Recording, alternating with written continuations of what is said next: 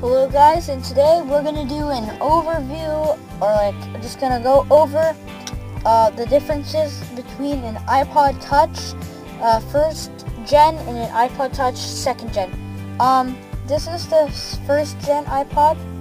Um, just, you know, just a regular iPod, you know, it's different, like, let me put in the password. Alright, um, this one is just a regular iPod, you know, it's the same. It's kind of pretty. It's like you know, it's pretty old. Um, yeah. So, um, it's way different than the um iPod first gen, iPod Touch first generation, which is this. Let me show you the back. Kind of a little different. Know, you can see the difference when we put the iPod Touch.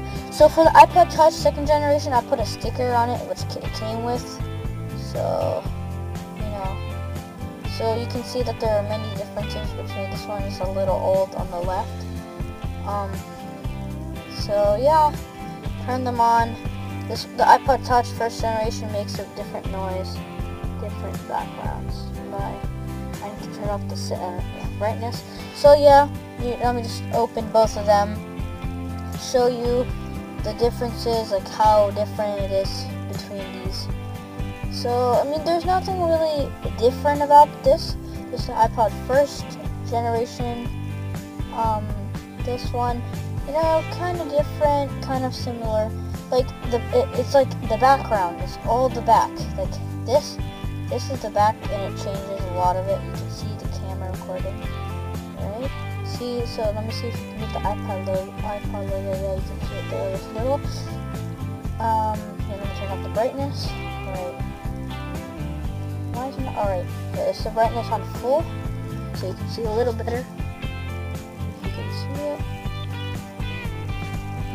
See, so that's like just how uh, different. Let's go to the home screen.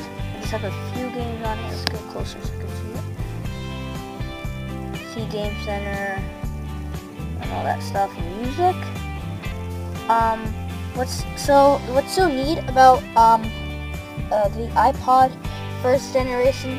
Uh, it's just that, um, you know, it's kind of cool, you know, it looks ancient and stuff, which I, I like those things that look like that. So let's close up, this is uh, between this and that. Let's put it back there. See, wait, why is the brightness Oh well. Well, like, for, this is the first generation.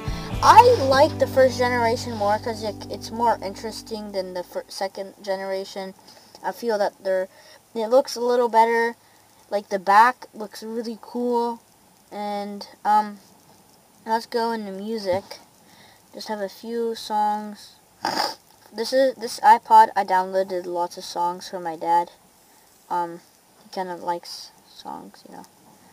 Right, you can just go through these. Lots of songs.